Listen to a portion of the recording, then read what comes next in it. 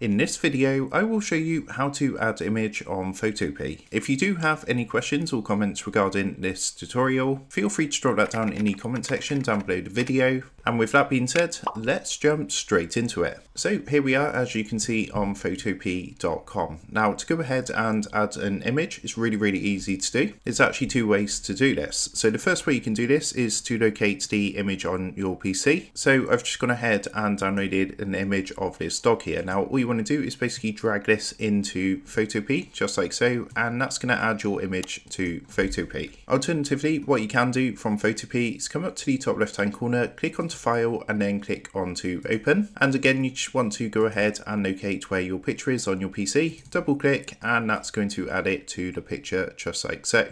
So that is how to add image on Photopea. With that being said, I hope this quick tutorial did help you out today. And if this did help you out, I would really appreciate it if you was to consider dropping down below the video, leaving a like and also subscribing to the channel. With that being said, I just want to take a minute to thank you guys for watching this quick tutorial and I will see you in the next video.